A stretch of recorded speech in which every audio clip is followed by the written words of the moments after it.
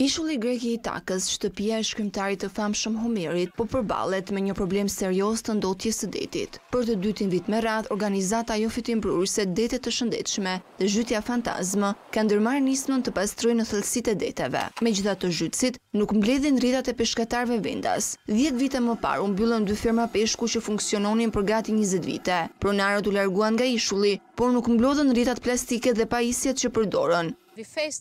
Ajo me të cilën u përballëm këtu nuk e kemi parë askund. Një krim tragjik mjedisor.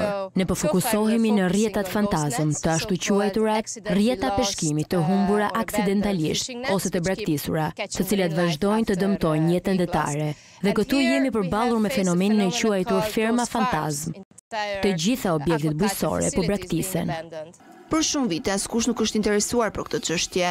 Asnjë qeveri dhe asnjë ministri mjedisi nuk i ka kërkuar dy kompanive të pastrojnë detin. Disa banorë lokalë postuan foto të marra në thellësi të detit dhe informuan NGO-në e cila vendosi të marrë aksione. Ekipi përbëhet nga dymbëdhjetë vullnetarë. Sfida e këtij projekti është pesha dhe sasia e rrjetave të peshkimit. Ato janë shumë të mëdha, duhet t'i tërheqim nga njëzet në tridhjetë, tridhjetë e pesë metra thellësi.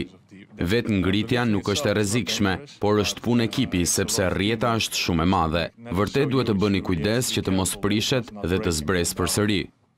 Gjatë pranverës së dy mijë e njëzet e njëshit, shumë banorë lokalë hezituan dhe u shqetësuan nga vullnetarët e huaj. Shumë prej tyre nuk besojnë se do të ketë ndryshime. Vitin e shkuar, nga vija bregdetare u larguan shtatëdhjetë e gjashtë tonë mbetje detare. Krahas pastrimit, qëllimi i aksionit të këtij viti është edhe trajnimi i peshkatarëve, banorëve dhe vizitorëve që të reduktojnë ndotjen katastrofike në brigje.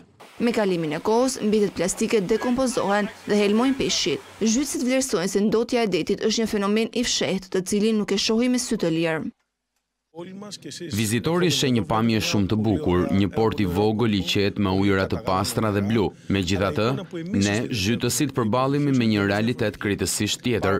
Shtrati i detit është plot me mbeturina. Mund të them se duket si një vend grumbullimi i madh plerash. Rrjetat e marra transportohen në portin e Itakës dhe ruhen në kontejnerë, më pas shndërrohen në najlon të riciklueshëm. Pas Itakës, zhytësit vullnetarë do të përfshihen në projekte të ngjashme në Spanjë dhe Kroaci.